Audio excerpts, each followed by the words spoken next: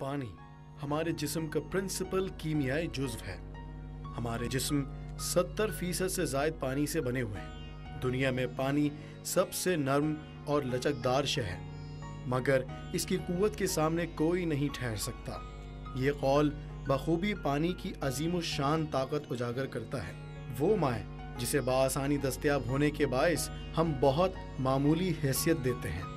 मगर अब तिबी साइंस दरियाफ्त कर रही है कि हमारे बदन में पानी की कमी हमें बाज खतरनाक अमराज का शिकार बना सकती है।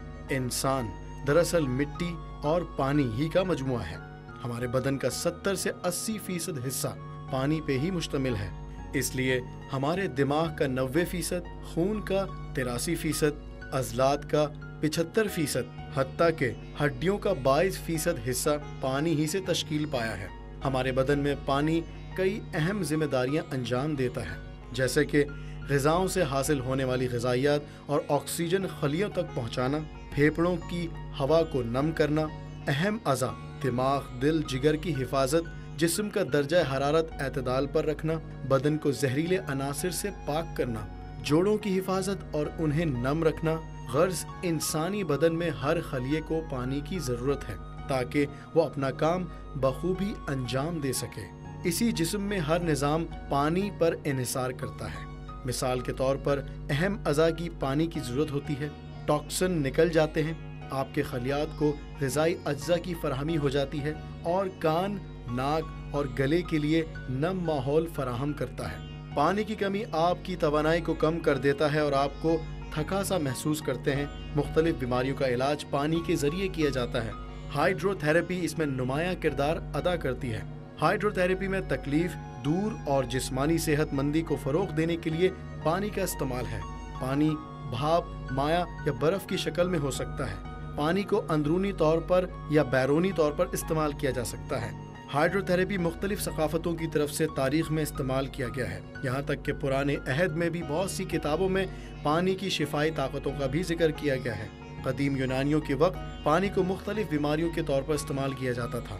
इब्तदाई रोमन और तुर्की में गसल आज भी मकबूल है और सयाहों के लिए पुरकशिश मकाम हैं। हाइड्रोथेरेपी का जदीद इस्तेमाल तकरीबन हर बीमारी के इलाज के लिए इस्तेमाल किया जाता है।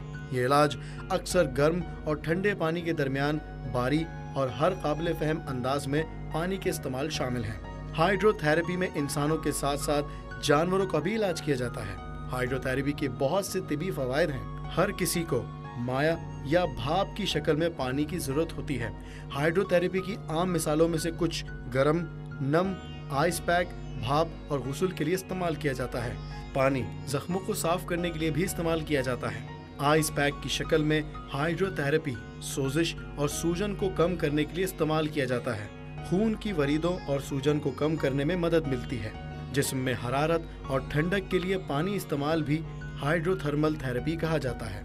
पानी की कमी एक संगीन तिब्बी मसला हो सकता है।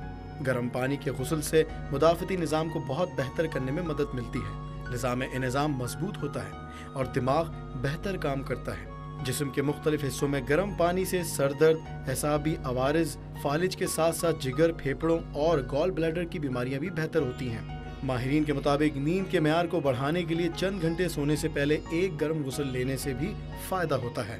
बहुत से आर्थोपैडिक पानी में वर्जिश करने वाला मशवरा देते हैं। इससे वज़न में कमी और जनरल सेहत बहुत बेहतर रहती है। हाइड्रो मसाज भी जिसम के मुख्तलिफ़ हिस्सों के लिए बहुत बेहतर है। पानी अल्लाह ताला की बहुत बड़ी नेमत में से एक है। जापानी मुआशरा कदीम रिवायत पर कायम है। यहाँ ख्वाब बेदारी या नींद से जागने के साथ ही सुबह निहार मुँह, पानी पीने का रिवाज आम है। साइंसी तजुर्बा से बात साबित हुई कि निहार मुँह पानी पीना इंतहाई फ़ायदेमंद है। जापान की मेडिकल सोसाइटी की एक रिपोर्ट के मुताबिक सुबह सवेरे नींद से बेदार होते ही पानी पीने का अमल, देरीना और पेचीदा अमराज के अलावा जदीद बीमारियों का मौसर इलाज साबित हुआ है। जापान की मेडिकल सोसाइटी के जेर एहतमाम होने वाली एक तहकीक से पता चला कि पानी के ज़रिए चंद बीमारियों का सौ फ़ीसद कामयाब इलाज मुमकिन है।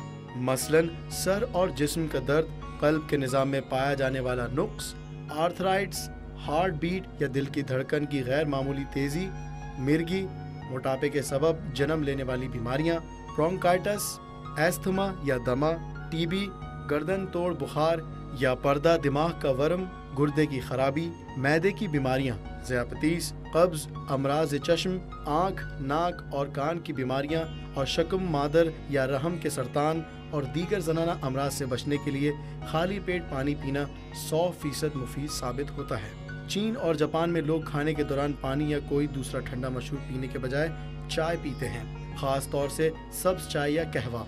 खाने के साथ ठंडा पानी या दीगर मशरूब पीने से गजा में शामिल तेल घी या चर्बी अशिया जमने लगती है और इस तरह हाजमे का निज़ाम सुस्त रफ्तार होते होते खराब ही हो जाता है।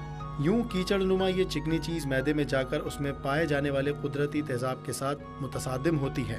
आखिरकार ये चिकना मादा अंतड़ियों के अंदरूनी हिस्से में एक झिल्ली सी बना देता है, जो रफ्ता रफ्ता कैंसर और सरतान का सबब बनती है। इसलिए चीनी और जापानी माहरीन की तरह बहुत से दीगर ममालिक के तबी मौकिन का मानना है कि खाने के बाद गर्म पानी या सूप पीना सेहत के लिए सबसे ज़्यादा फ़ायदेमंद